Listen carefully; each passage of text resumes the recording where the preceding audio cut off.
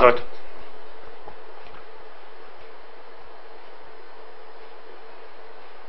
Funcționez încă cu intermitențe, dar mă refac. Între timp vreau să postez ceva ca să spiritul adevărului. Întâi eu cu antiscriptum. Helmut Ducadam are o mare problemă. Însă asta nu justifică ce a spus. 53 de ani mi-am făcut datoria față de România. Cred că a venit momentul ca și România să-și facă datoria față de mine. Mă, în mass media apare că e rolul de la Sevilla. Corect. A făcut o performanță sportivă care e la îndemâna nimănui. Apăra 4 de 11 metri. Se știe că dacă un 11 metri executa corect, portarul n-are nicio șansă. Da, corect spus, este erou de la Sevilla. Însă nu e erou de la Mărășești, nici de la Oitus, nici de la război de independență. E erou unui sport, că e totuși un joc. În materie de să facă România datoria față de cineva, cred că el, cu, tot, cu toate că este eroul de la Sevilla, el e la coadă după Prunariu, care poate spune așa ceva. Fiindcă Prunariu, dacă ieșeau lucrurile nasol, lua foc la propriu. Însă nu mă miră că nu înțelege treaba asta. De fapt, ca sportiv nu e obligatoriu să meargă și capul. Mai țineți minte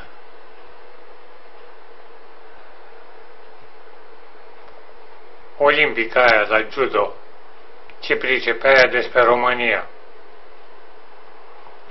Însă la ora actuală știm de regele Hagi, de briliantul Mutu, și atunci de ce nu are și ăsta pretenția ca să ne facem datoria față de el?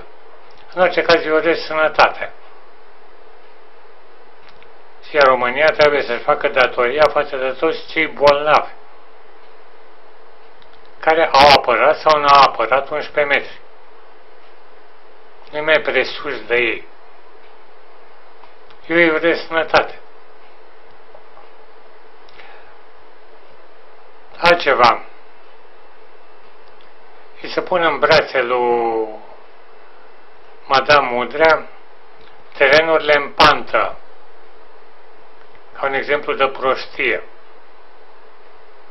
Am uh, fost atent atunci când a apărut treaba asta. Nu s-a făcut terenul în pantă. Terenul a fost drept. Însă au profitat de faptul că lângă locul în care au fixat să fie acest teren e o movilă mare și acolo au făcut tribuna. Deci tribuna e în pantă, nu terenul. E cu totul altceva. Chiar e și mai ieftin profitând de această tribună. Altceva. Ambasadorul SUA în Libia a murit. Mai recent, inițial a reieșit că libienii l-au omorât adică l-au chizărit așa fizic. Ulterior s-a lămurit că de fapt a murit în cauza că s-a intoxicat cu fum. Chiar libienii au căutat să scoată de acolo, să-l ducă la spital. Dezinformare. Însă asta pe undeva ridică un concept, răspundere ministerială.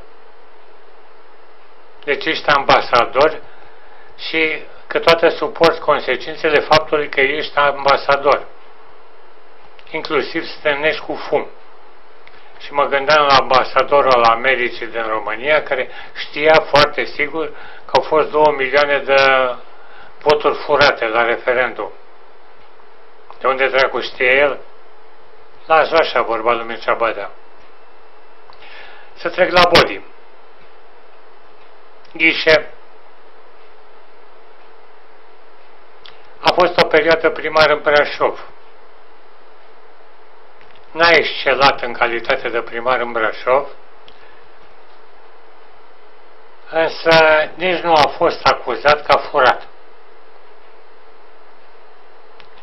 Dacă se pune în balanță ce a făcut Ghi și ce a făcut uh, Scripcaro, e clar că Scripcaro a făcut mult mai multe în folosul brașovenilor. Însă dacă s-ar analiza din punct de vedere contabil câți bani a avut Ghișe și câți bani a avut Scripcaro, are ieșit că la banii care i-a primit Scripcaro, foarte mulți bani au dispărut. Probabil după ce o să se termine mandatul, se află mai precis. Însă acum îl analizez punctual. A fost la un moment dat că ăsta ghișe celebru cu o lege în care informațiile care se transmiteau prin mass media trebuie să fie legalitate. Una negativă, una pozitivă. Era o tâmpenie. Însă ceea ce face acum e cu totul altceva încearcă să sensibilizeze pe oameni și pe colegii lui asupra unor date. Să vede, la mine am dat niște linkuri, că foarte mulți vorbesc despre ce spune el, dar habar n-au de fapt ce spune. E schimb greu de citit, că sunt lungi al dracului. E un fel de demonstrație juridică.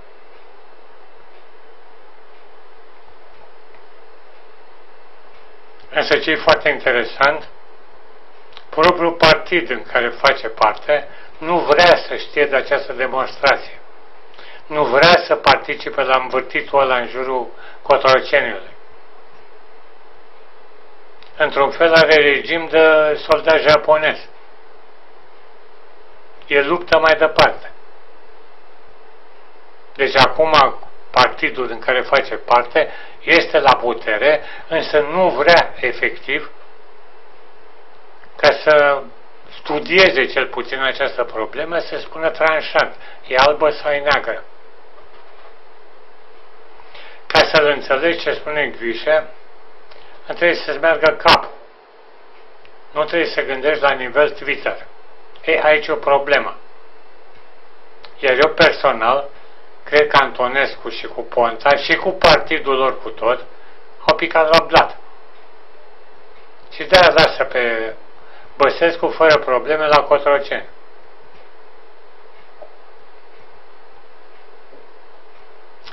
să am văzut o reacție mass media că de fapt ceea ce face o face în interesul lui ca să, fie, să ajungă iar senator de Brașov.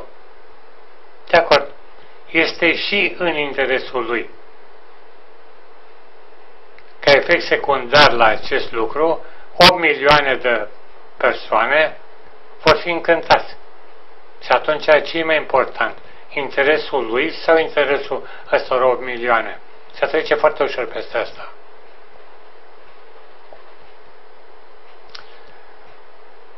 E ca și când ai spune, mai țineți minte la Părei, la Galați, era la un moment dat uh, să fie inundați și un țăran cu roaba a lăsat roaba jos și a zis lui Boc, deschide, domne, ecluza. Ca și când ai susține acum că de fapt țăranul ăla interesat să, interesat să apară pe sticlă. Țăranul ăla cu mintea lui de țăran prost a dat o soluție grozavă. Așa și aici lăsând la o parte faptul că probabil datorită acestui lucru mai prinde un mandat ca senator. Însă ceea ce, ce face în interesul nostru. Sunt Don Quixote. Nu cred că rezolvă nimic. Din cauza propriilor colegi, în primul rând. Chiar unul de la PC, mi se pare, Daniel Constantin, a spus un lucru. Că a vorbi în momentul de față despre o nouă suspendare din funcția președintelui Băsescu nu este pe agenda cetățeanului din România. De unde dracu știi tu, bă, ăsta? Că nu-i pe agenda mea. Păi de-aia m-am sculat cu noaptea în cap și m-am dus la vot. Că e pe agenda mea.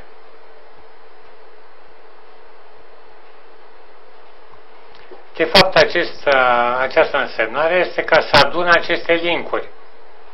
Mi-a fost mie greu ca să găsesc ce a spus. Iar pe tot internetul ăla este o singură, cum naiba îi zice, fundație, România fără ei, o asociație. Ăștia au pus linkurile, restul nu interesează. El tot apare la antena 3 și o ține așa, ca proasta, spunând lucrurile astea. Și un comentator îl combatea. Și ăsta l-a întrebat, domnule, citit ce am spus? Și la nu. Pe atunci cu ce ocazie deschis gura? Asta a fost. Le-am adunat asta aici ca să fie mai ușor de citit. Sunt lungi, sunt plicticoase. Însă dacă reușești să fii atent, o să-ți dai seama care dreptate. Iar pe undeva ceea ce face el, în timpul romanilor, avea ăștia o problemă cu Cartagina.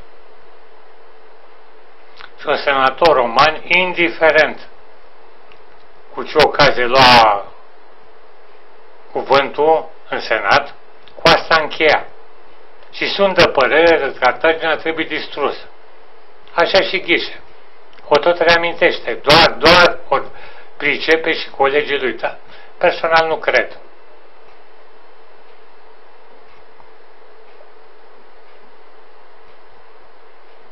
Iar colegii lui, de ce nu îl sprijină? Printre altele. Pe primul rând, nu ideea lor. Și dacă îl sprijină, ghișe să alerge cu candidatura la Senat. Nu e. Nu iese în evidență.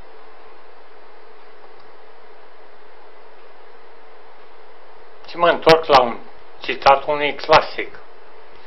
Poporul se află într-o stare de spirit atât de pronunțat feminină, încât opiniile și actele sale sunt determinate mai mult de impresia produsă asupra simțurilor decât de reflexie pură. Nu numai popor, ci cei care ne conduc. A, cine a zis asta? Hitler.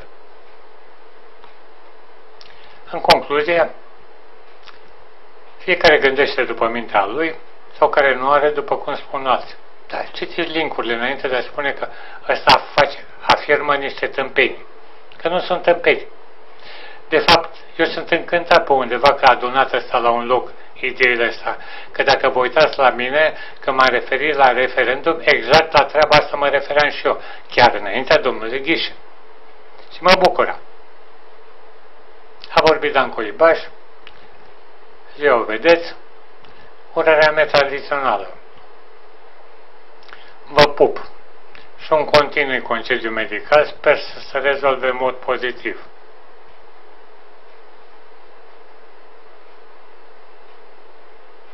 Entonces, bueno,